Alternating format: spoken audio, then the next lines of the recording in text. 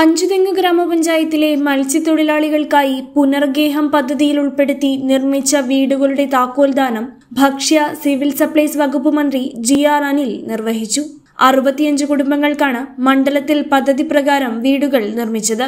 അടുത്ത ഘട്ടത്തിൽ കൂടുതൽ വീടുകൾ നിർമ്മിക്കുമെന്ന് താക്കോൽദാനം നിർവഹിച്ചുകൊണ്ട് മന്ത്രി പറഞ്ഞു. ഒരു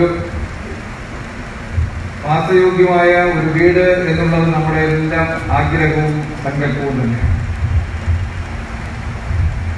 ആ സങ്കല്പം അല്ലെങ്കിൽ ആ ആഗ്രഹം യാഥാർത്ഥ്യമാക്കുന്ന ഒരു ഗവൺമെന്റാണ് കഴിഞ്ഞ അഞ്ചു വർഷക്കാലവും ഇപ്പോൾ ഭരിക്കുന്നത് എന്നുള്ളതാണ്. ഏതൊരാളും അവരുടെ ആവശ്യം ഇതുപോലെ നമ്മുടെ മുന്നിൽ പറയാൻ കഴിയും. അതുകൊണ്ട് അത്തരത്തിൽ നിങ്ങളുടെ അപേക്ഷയും പരിഗണിക്കാൻ കഴിയുന്ന തരത്തിൽ ബന്ധപ്പെട്ട മത്സ്യ വകുപ്പിന്റെ ചുമതലയുള്ള മന്ത്രി ശ്രീ സലി ചെറിയാന്റെ കയ്യിൽ ഞാൻ നാളെ തന്നെ ഏൽപ്പിക്കുന്നതാണ്. ഞാൻ ഈ പറഞ്ഞത് അതുകൊണ്ട് നമ്മുടെ നാട്ടിൽ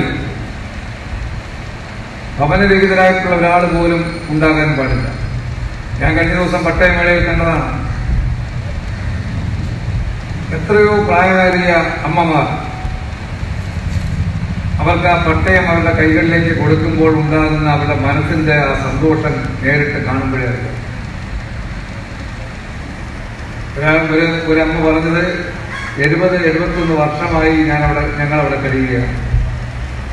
ഇന്നാണ് ആ ഭൂമിയുടെ ഉടമയായി മാറാൻ കഴിഞ്ഞത് എന്ന് പറഞ്ഞുകൊണ്ട് അവരങ്ങ് വല്ലാതെ സന്തോഷിക്കുന്ന രംഗം നമുക്ക് കാണാൻ കഴിയും. കായിക്കര ആശാൻ സ്മാരക ഓപ്പൺ ഓഡിറ്റോറിയത്തിൽ നടന്ന ചടങ്ങിൽ V Sasi M L A അധ്യക്ഷത വഹിച്ചു. Anchuthengu panchayat president V Laiju Chirayinkeezhu panchayat president P Murali ജില്ലാ പഞ്ചായത്ത് മെമ്പർ ആർ സുഭാഷ് തുടങ്ങിയവർ പങ്കെടുത്തു.